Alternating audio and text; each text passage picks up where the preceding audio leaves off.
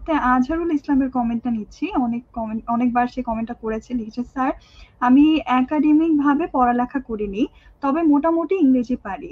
Course করলে ভালোভাবেই পারব ইনশাল্লাহ। আমি এখন ইউরোপের কোন দেশে যেতে যেতে চাচ্ছে, স্যার? লিখেছে, আমার এখন কি করা উচিত? আমার জন্ম নিবন্ধন ও এনআইডি কার্ড আছে।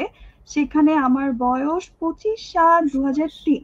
এখন কি আমি কোনোভাবে এসএসসি এসএসসি পরীক্ষা দিতে পারব? উনি দিতে চাচ্ছে এসএসসি পরীক্ষা।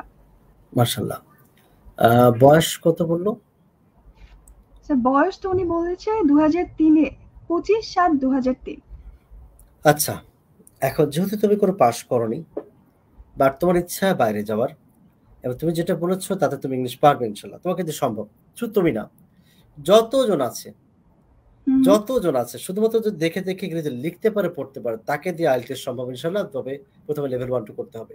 যারা তাও পারে না শুধু দেখে দেখে অক্ষর চেনে এবিসিডি অক্ষর চেনে তাদেরকে দেখে ইংলিশের লেভেল জিরো এবং জিরোর পরে তারা ওয়ান টু করবে তারপর ইনশাল্লাহ আইএলস করবে। অর্থাৎ চেষ্টা থাকলে তুমি যদি চাও ইচ্ছা থাকলে উপায় হয় সে ব্যবস্থা আমি করেছি। অর্থাৎ একটা মানুষের জন্য বেকার না থাকে এটা আমার একটা স্বপ্ন এবং সেটারই কাজ করছি। এখন তুমি বলেছ যে তুমি ইউরোপে যেতে চাও। এবং তোমার লেখাপড়া নাই। আমি একটা ছবি দেখাতে চাচ্ছি। এটার পরে বলব যে কেন আমি নিষেধ করি? কেন এরকম প্রতিষ্ঠান দরকার? এটিএমস যা সততার চাদরে মোড়ানো এই প্রতিষ্ঠান আরও দশটা, বিশটা দরকার দেশে। আমি কেন বলছি? এই কথাটা কেন বলছি? আমি যখন এই ভিডিওটা দেখি, তখন আমি বুঝতে পেরেছি যে এটা আসলে এমন কিছু যা আসলে প্রত্যেকটা মানুষের এটা জানা দরকার বোঝা দরকার। না হলে এই যে অবস্থা আছে এটা দুঃখজনক অবস্থা। এটা বাংলাদেশের মানুষ যদি এটার পরেও অনেকে যদি এরপরে মানে তোমাকে দেখায় হয়তো দেখতে পাবে কিনা জানি না। এখানে দেখতে পাচ্ছ কিনা? একটা জাহাজ থেকে আর জীবন না বাঁচলে ইউরোপে দিয়ে কি হবে? ইউরোপে দিয়ে কি হবে? হ্যাঁ। দেখো জাহাজ থেকে পড়ছে আমি স্ক্রিনশট রেখে দিয়েছি। এবং জাহাজ থেকে সব নামছে একটা করে এবং সে সাগরে ঝাঁপ দিচ্ছে। তো সাগরে ঝাঁপ দিয়ে দিয়ে তারা ইউরোপে পাড়ি দেওয়ার চেষ্টা করছে। এখান থেকে লিবিয়া যাচ্ছে ওখান থেকে সাগরে মানে পানি পথে সাঁতার কেটে কেউ আবার ড্রামে করে ড্রাম। কেউ রাবার রাবার বোটে করে যাওয়ার চেষ্টা করছে কিন্তু মারা যাচ্ছে অনেকেই মারা যাচ্ছে। তো কেউ কেউ বেঁচে থাকছে। তো যদি জীবনই না থাকে তোমার ইউরোপ দিয়ে কি হবে? আমেরিকা দিয়ে কি হবে? কেনাডা দিয়ে কি হবে? তুমি বেঁচে থাকলে তোমার এটার কি মূল্য আছে? বেঁচে থাকলে ইউরোপ কানাডা যেখানে বলো তো এইখানে কেন যাবে? যেহেতু তোমার যোগ্যতা নাই একাডেমিক যোগ্যতা নাই এই জন্য তুমি এখন চাইলেও এমনকি ইংলিশ শিখলেও তোমার বিদেশ যাওয়ার সুযোগ আর নাই। আমি মিথ্যা স্বপ্ন দেখাই না কাউকে। আমার জীবনে আমি ছোটবেলায় আমি পণ করেছি জীবনে কখনো হারাম খেতে চাই না জীবনে কখনো কখনো মিথ্যা স্বপ্ন দেখাতে চাই না আমার দ্বারা জীবনে কোনো ক্ষতি যেন না হয়। উপকার করতে পারলে করব।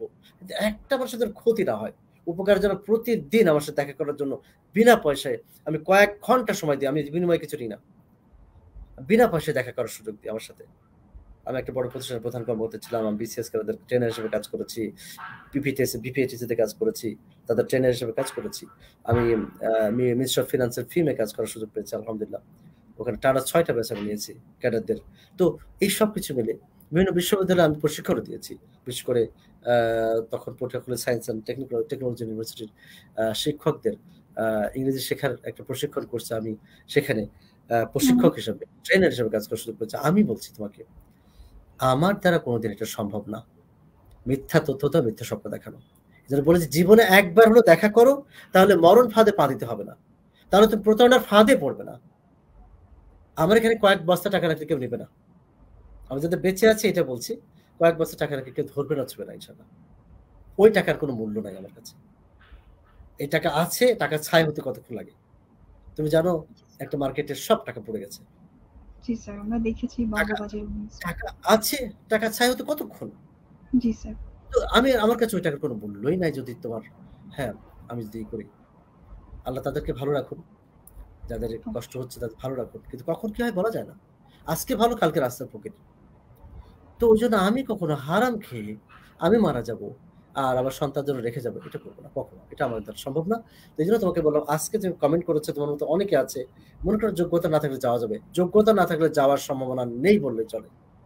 যারা যাচ্ছে, তারা এইভাবে একটা অবৈধ পন্থায় জীবনের ঝুঁকি নিয়ে মৃত্যু ফাঁদ নিয়ে তারা যাচ্ছে। এটা কখনোই উচিত না। মৃত্যুর চাইতে আর কি থাকে? চরম পরিণত কি থাকতে পারে কপি গল্পের মানে